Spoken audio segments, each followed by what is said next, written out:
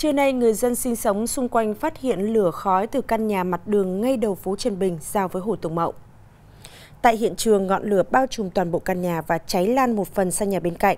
Căn nhà này được dùng làm cửa hàng sửa chữa máy tính, một phần để kinh doanh đồ ăn. Nhận được tin báo, lực lượng phòng cháy chữa cháy đã điều hai xe chữa cháy tới hiện trường. Công an phường Mai Dịch cũng huy động toàn bộ lực lượng để phục vụ công tác hỗ trợ chữa cháy.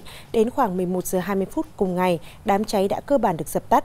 Tuy nhiên, hỏa hoạn đã thiêu cháy cửa hàng. Hiện cơ quan chức năng đang tiếp tục điều tra làm rõ nguyên nhân vụ cháy.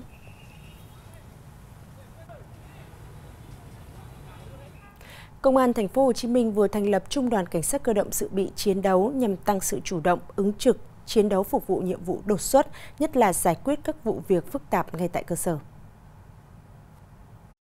Trung đoàn Cảnh sát cơ động dự bị chiến đấu được Công an thành phố Hồ Chí Minh thành lập trên cơ sở huy động lực lượng cán bộ chiến sĩ hiện có.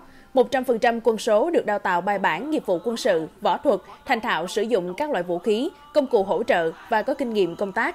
Đây là lực lượng đặc biệt quan trọng, sẵn sàng chiến đấu, cơ động nhanh để ngăn chặn, trấn áp các vụ gây rối trật tự công cộng, biểu tình trái pháp luật, cứu nạn cứu hộ, tham gia bảo vệ các sự kiện chính trị quan trọng của đảng, nhà nước và các ngày lễ lớn của dân tộc, đảm bảo vững chắc an ninh chính trị, trật tự an toàn xã hội của địa phương và thực hiện các nhiệm vụ khác theo yêu cầu.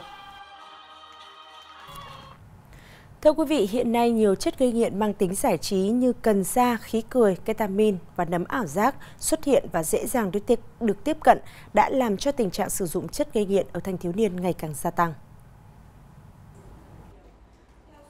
Tại hội thảo sử dụng chất gây nghiện ở thanh thiếu niên, đại diện Viện Sức khỏe Tâm thần Quốc gia cho biết, mỗi ngày viện tiếp nhận hàng chục ca trẻ vị thành niên sử dụng chất gây nghiện với tỷ lệ sử dụng bóng cười, cần sa, thuốc lắc gia tăng, đồng thời có xu hướng trộn nhiều loại với nhau, tăng cảm giác kích thích khi sử dụng.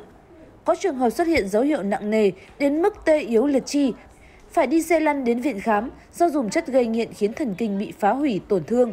Xu hướng sử dụng chất gây nghiện ở tuổi vị thành niên tăng với tính chất phức tạp hơn, đa phần do những vấn đề nảy sinh từ gia đình và cuộc sống.